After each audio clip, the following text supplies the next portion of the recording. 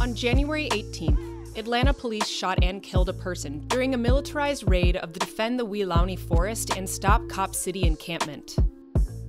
We call on all people of good conscience to stand in solidarity with the movement to stop Cop City and defend the Weelaunee Forest in Atlanta. To support, donate to the Atlanta Solidarity Fund. Call on investors in the project to divest from Cop City. Organize forest defense funds and participate in or organize local solidarity actions in your area.